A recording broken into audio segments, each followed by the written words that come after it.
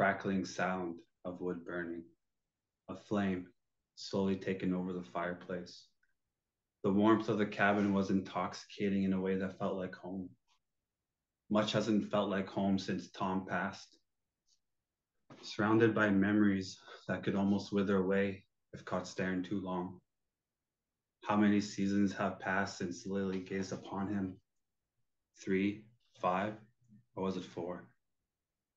Hard to remember. Everything felt hazy and a blur, probably from the whiskey keeping her warm. The only thing that does these past days.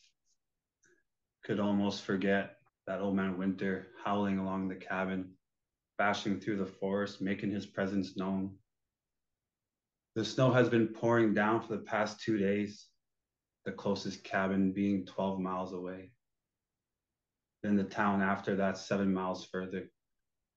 To walk in this storm would be death itself. The thought of being alone and trapped for who knows how long weighed a heavy toll on this widow's broken heart. With a shake of her head, as if to erase a memory that had her in a trance, she glances at the fireplace. The flame that kept the cabin cozy was dying. Her first instinct would be to put another log in the fire to stay warm or freeze in this ice box did not cross her mind.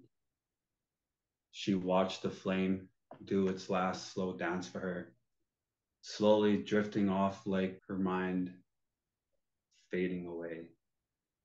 The glass of the whiskey slips from her hand, losing her grip. Trying to catch it before it hits the floor, the glass breaks, cutting her hand across her palm.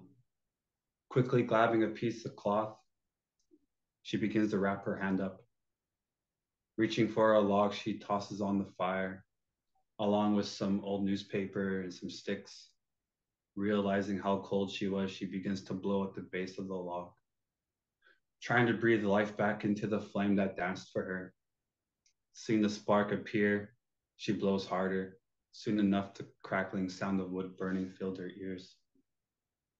Thinking about the events that just happened, Lilly walks towards the door as if to leave, grasping an old fur coat, plopping herself on the couch, clinging to the coat as if it was Tom. A tear fell from her eye as she smelled the old coat. With its thick fur keeping her warm and calming her mind, Tom and his friends went on a hunting trip many years ago, only to come home with a bear male Kodiak bear. Was at least eight feet or more. Tom loved this coat.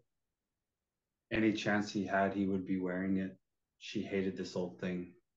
It would always get in her face when Tom would hold her close. The smell. The smell itself would make you almost gag. Now it's the only thing that she can smell that reminds her of him.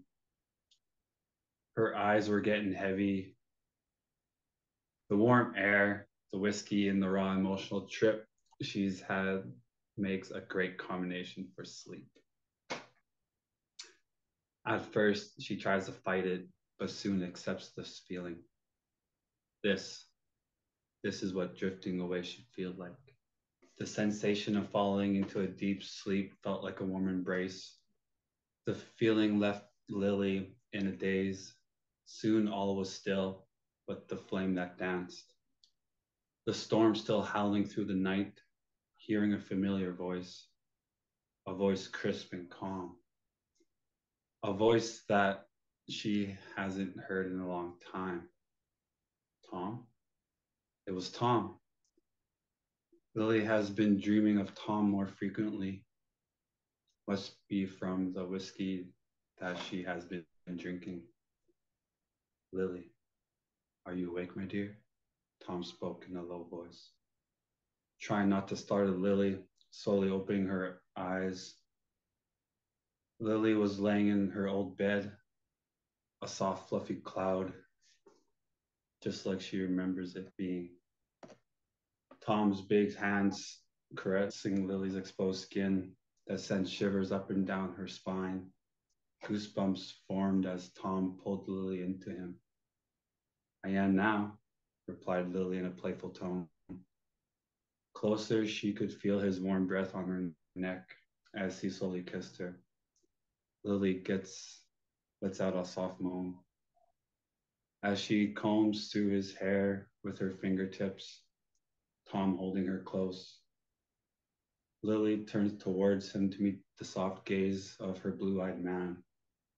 They lock lips, holding each other in a loving embrace. Boom, boom, boom. Ah, who could that be? muttered Tom.